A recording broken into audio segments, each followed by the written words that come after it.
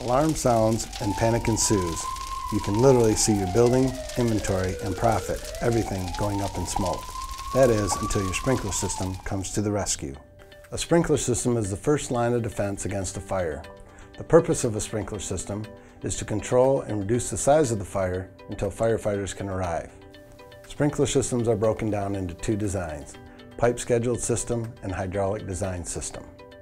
The first design, a pipe scheduled system, consists of branch lines and tapered pipes. When water flows through these tapered pipes, pressure is maintained, allowing water to spray continuously from the sprinkler heads.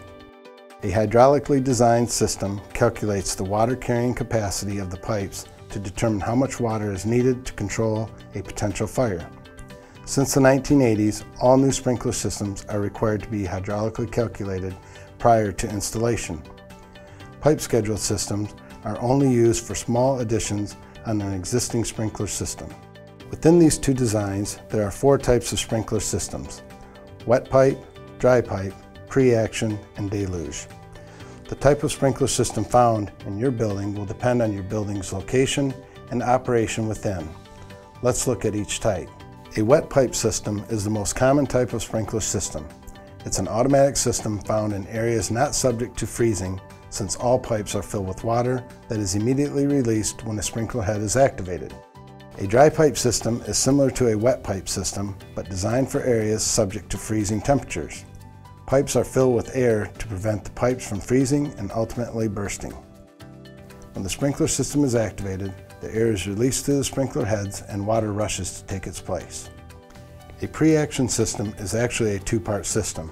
First, a smoke detector is activated, sending a signal fill the pipes with water, but the water is not actually released until sensors detect a heat source of at least 160 degrees. However, if smoke and extreme heat are detected at the same time, both parts of the system would respond immediately. This type of sprinkler system would be found in places like data centers that want to avoid unnecessary and harmful water damage. A deluge system is usually what you think of when you imagine a sprinkler system. This type releases large amounts of water from all sprinkler heads simultaneously, but it is actually the least common system. This is typically found in locations with a high risk for rapidly growing and spreading fires, such as a flammable liquid storage facility. The most important component of a sprinkler system is, of course, water. Water is fed to the sprinkler system from a dependable water source, most often a public water line. It's then fed into the sprinkler control valve, which is the brain of the system that also contains a shutoff valve. The sprinkler head is the central nervous system of a sprinkler system and the part everyone is probably most familiar with. There are many different types of sprinkler heads, but they all have the same components an outer shell, a cap to plug the water when not in use, a heat sensing device, and a deflector that allows the water to make a cone-shaped spray. In most systems, individual sprinkler heads are triggered by a heat-sensitive device built into the head.